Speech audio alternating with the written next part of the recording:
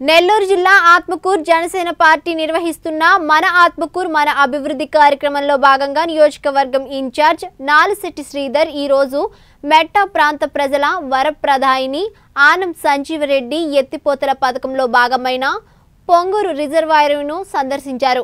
ఈ సందర్భంగా ఆయన మాట్లాడుతూ స్వతంత్రము వచ్చి డెబ్బై మూడు సంవత్సరాలు పూర్తిగా నిర్లక్ష్యానికి గురైన మెట్ట ప్రాంతం ఇదని ఆనం సంజీవరెడ్డి ఎత్తిపోతల పథకం పూర్తయితే ఈ ప్రాంతం సస్యశ్యామలం అవుతుందని తద్వారా ఈ ప్రాంత ప్రజలు ఆర్థిక స్థితిగతులు మెరుగుపడతాయని తెలిపారు.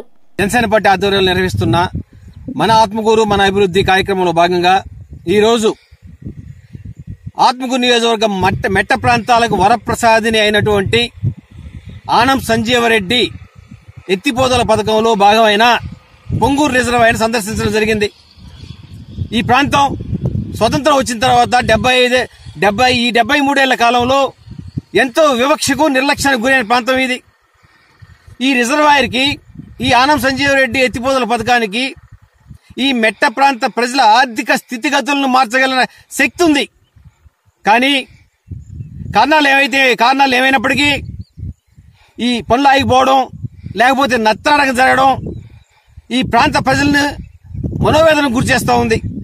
ఈ సందర్భంగా జనసేన పార్టీ డిమాండ్ చేస్తూ ఉంది. ఇప్పటికే నెల్లూరు జిల్లాలో మెట్ట ప్రాంతమైన ఈ ప్రాంతం ఎంతో వివక్షకు గురైంది. కాబట్టి ఈ ప్రాంతానికి వెంటనే నిధులు కేటాయించి యానం సంజీవ్ రెడ్డి ఎత్తిపోతల పథకానికి వెంటనే నిధులు కేటాయించి సకాలంలో ఇది పూర్తి అయ్యేలా చూడాలని చెప్పి ఈ సందర్భంగా జనసేన పార్టీ ప్రభుత్వం డిమాండ్ చేస్తూ ఉంది. అంతేకాకుండా ఈ రిజర్వాయర్ భూసేకరణలో భాగంగా రైతులకు భూములు కోల్పోయిన రైతులకు నష్టపరిహారాన్ని వెంటనే చెల్లించాలని కూడా జనసేన పార్టీ డిమాండ్ చేస్తూ ఉంది.